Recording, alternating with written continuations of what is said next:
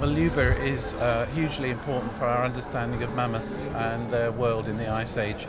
Uh, she is the most complete mammoth carcass ever discovered, and uh, because she's been found very recently, we've been able to apply a whole load of scientific methods uh, that had never before been used on these frozen carcasses. Well, for example, uh, during the autopsy of Lyuba, they were able to recover remains of her mother's milk in her stomach and through sectioning of her teeth and microscopic examination we've learned that she was exactly 35 days old when she died because you can count daily growth lines. Um, you could look at her teeth and see that she was not using them yet and however in the gut there was also some plant remains so we think this means that she was eating her mother's dung in order to get the bacteria uh, that she would have needed to digest her plant food had she lived uh, to grow into an adult.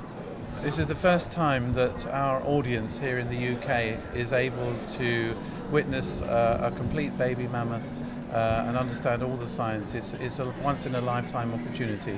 It's, it's a first for us. Oh, I'm sure there's much still to learn. For example, uh, work on DNA is still ongoing.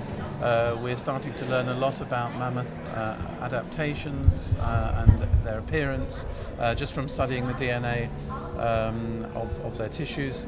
Uh, so, for example, we've learned from the DNA that mammoths were not orange in colour as people usually believe because of the colour of the hair as it is recovered. Um, but the DNA shows that the original colour was probably a brown or dark brown colour and that it's just lost its pigment uh, during long burial. This is just the first of many examples of what we're probably going to learn.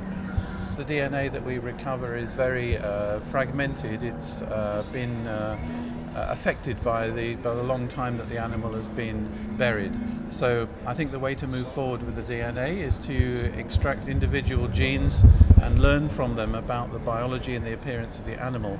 Um, but it's too incomplete to clone a mammoth, and there are all sorts of other technical, possibly also ethical issues uh, relating to that. So I'm not a supporter of that idea. Well, in the exhibition, we, we have a new film uh, which we made, uh, which describes new research which we've done through an, a long program of radiocarbon dating, uh, and from that we're learning that uh, the mammoth's range began to contract and contract and contract exactly as the climate uh, altered the vegetation so that the grassland habitat that the mammoth inhabited was replaced by forests and we think that that effect reduced the mammoth's range enormously and led ultimately to their extinction possibly aided by hunting by people uh, as a contributing factor. So I think it was the combined pressure of climate change and hunting uh, that caused the extinction of the mammoth.